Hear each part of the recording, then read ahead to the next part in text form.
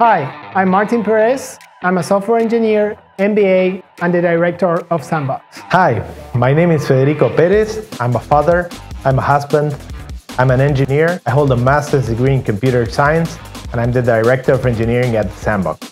Cualit was founded 10 years ago and it used to help top companies create innovative, immersive experiences. At that time, it was a challenge to build a tech company in Punta del Este since uh, all the tech was centralized in Montevideo. We're helping the sandbox across a lot of verticals, from creating the website to developing the game to marketing, account management, and lots of other cool stuff. We built some amazing products for some of the world's coolest brands and startups, ranging from VR games, AR experiences, mobile apps, and progressive web apps. We found out about the sandbox through acquaintances that we had in common.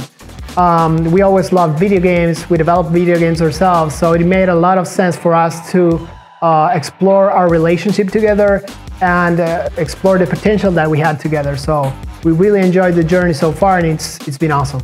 It combines blockchain gaming, entertainment, decentralization, so it's really something unique and we really love being part of it.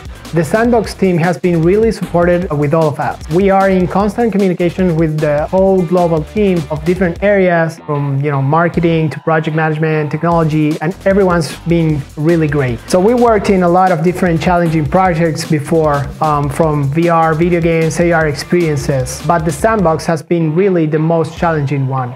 It involves a lot of innovative technologies and we reach millions of users worldwide, so it's been a great challenge that we love every day. One of the latest projects that we've worked on is called The Last from Mars, a 3D VR video game that offers a truly unique and frenetic experience. We're currently building that experience within the sandbox, offering players an opportunity to meet back with the characters and experience The Last from Mars in a different way.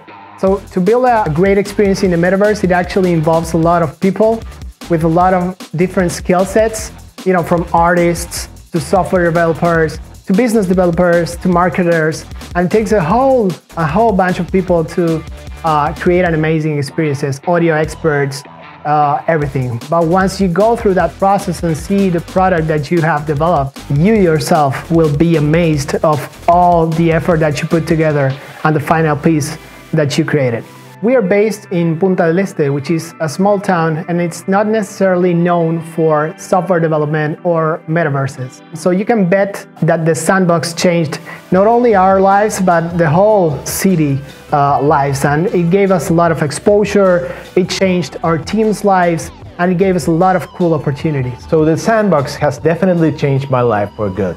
It allows me to work doing the things that I love from the place that I love and making a huge impact in the world.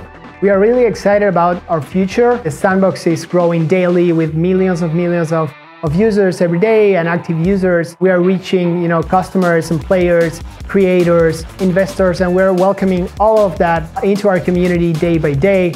And we are also really open to people to join actually our company and visit careers.sandbox.game and join us in building this great metaverse that's going to be leading the future.